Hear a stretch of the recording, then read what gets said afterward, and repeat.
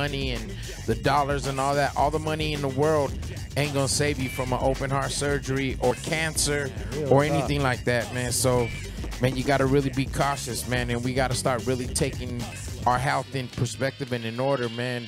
Start taking the alkaline waters and the probiotics and the things like that that'll flush all the bad bacteria and stuff like like that through your body. You know, we have a we have a habit of going to these car auto body repair shops that have these taco stands set up in the front of them and they're always set up in front of these auto body shops and these old body shops. But you got to understand going in there to these body shops they're in there cooking where they have brought in machinery and metals and stuff like that from these cars that are in there getting fixed and the brake pad dust and the stuff. So when that cook is up there kicking up that pastor and all that stuff and he's cooking and he's kicking up the metallic metals and the stuff like that you got to understand the metal impediments that are in those things contain a lot of cancer cells and a lot of things that are going to your bloodstream and stuff that is not good for you. And we've all fell victim to eating at some of these spots where late night where you've gone and you've done that but you got to be very cautious of how you start eating that stuff. And because man when you get to the level of type 3 i mean uh, uh, stage stage 3 and the stage 4s they're silent killers. You don't even know you got these cells in your blood until you're at stage 4 and then by then you hear these stories of your tío falling out or your dia falling out and succumbing to cancer and stuff like that. So you got to really start adhering and listening to the reason why even like other races and other people. Like you see the the the gabacho the worker the hard worker he's working and has a business and he's running a company. He's when you see him at night he eats at a certain hour every day maybe seven o'clock eight o'clock.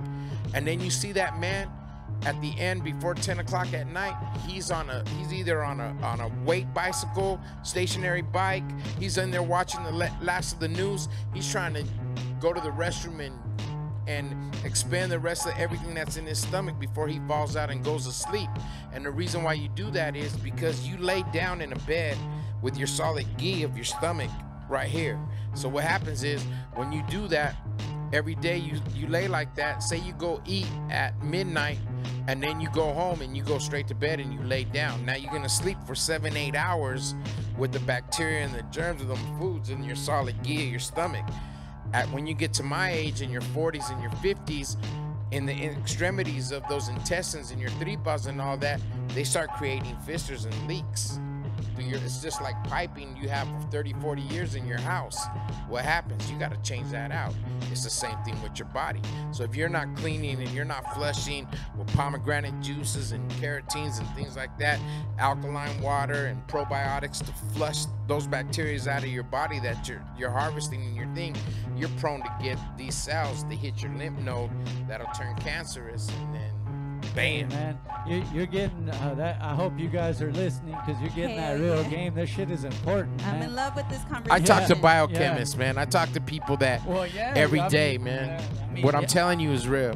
And I, and I believe it. And that when it comes to that and your health, you want to do all the research you can, obviously. But you're getting that game right here from the OG, Mr. Kid Frost. I mean, I ain't saying it like that, but man, try to shit and piss before you go to sleep, man period. Try to get everything that of all that out of your body man before you lay down at night man. And that's a very important thing that's gonna put you into a living into the 70s and 80s pertaining to our latinos and our raza that's dying out in our 50s and our 60s so right. yeah, man. Start slow. Start with just water. You know, I, it's. It, I feel like it is gonna be a movement coming soon. We have the ban on straws now. We have, you know, people are more aware on plastic. Eat healthy. Eat your greens. You know. Omega fish. Eat fish. Hey man, we'll be right back after this video. We got a couple more things to talk about, including some shows coming up and all that shit, man. Kid Frost, Soul Life in the building. What's up? Peace out. Oh, Hope we didn't scare y'all. No, motherfucker, be like.